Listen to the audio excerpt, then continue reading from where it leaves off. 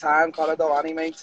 He's the he's the man. He's the man. He has always remained loyal, uh, not just to me, but No to manager, head coach, striking coach. Of course, of course.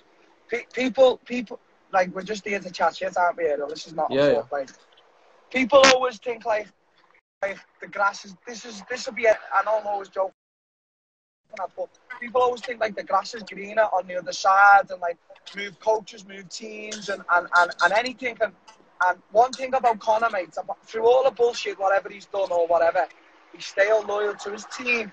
He stayed loyal to his manager and he, he's never not given you an interview, mate. So you have to give him props for that. And I've seen that before, man, when when you was giving him the interview. So big big up to Conor because I try to live by the same set. Like you have people in your ears and they're like, you know, maybe you should, you know, should go here or do this or go with that guy or speak.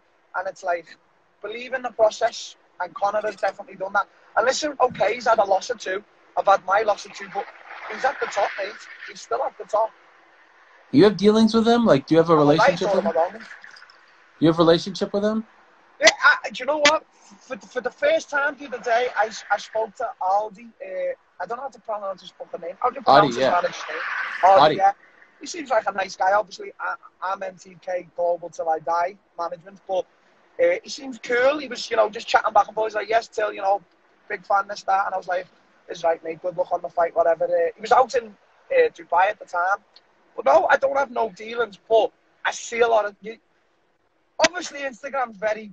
It can. It's not. It's not real, is it? But you see a lot of things what goes on, and he's with his team, he's with his manager, and he's never not give you an interview, mate. There's three things I see with what that guy's.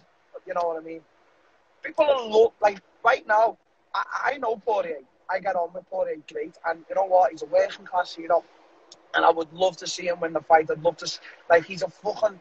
He's a great in my eyes, but just the amount of people shitting on Conor right now, it just it just grinds me gears, and I just think I'd love to Conor just to win, just to shut all these people's up and go and get that title. One, one last hurrah, because it's just so fickle how people change in it, Ariel. It's so fickle. Like You feel like they're rooting against him in Europe? not necessarily in Europe. Like I don't see it like that.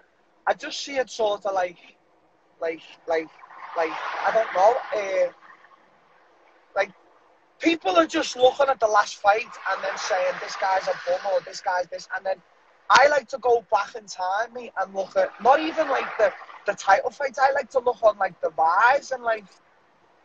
Like you can't forget that type of shit, you know what I mean? Not a lot of people have done that, you know. So, I, I always, I, I've actually got a video on this phone now. Where you remember that? Do you know that a while back the Mexican fighter who was getting hit in the back of the head in boxing? Do you ever remember that? Yeah, yeah, yeah. And he, he, he's, he's, he's a cabbage now, isn't he? Ariel? Like he's, he's not okay.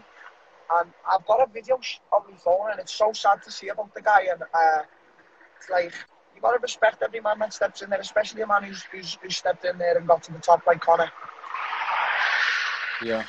Is it coming home, Darren? Yeah. not now, it's not. Fucking can't get fucking tickets off BT. Fuck me. Fuck BT. Are we are, are we like best friends now? Are we colleagues now? Let's get real because I am BT Ariel. Uh, I'm working for the number one uh, UFC broadcaster worldwide. We're not just talking UK now. We're talking I've got worldwide. text- I've got, I've got a text on my phone that's from last year that says ESPN MMA, MMA is the best. So No, what's going on, Ariel? no, no, no, no. We got we got uh, the great Dan Hardy, the great Michael Bisping, Caroline Pearce, Adam Catterall, Nick Peet. We've got a phenomenal team, and the behind the scenes team is even better, if you ask me. Oh yeah, Um, 100%. So are we? Are we like? Are I mean, like, am I like an honor I mean- Englishman now? I mean, BT showed me a lot, a lot, a lot of love. Like, a lot of love. There, a lot of love. So, I suppose we are colleagues. I suppose.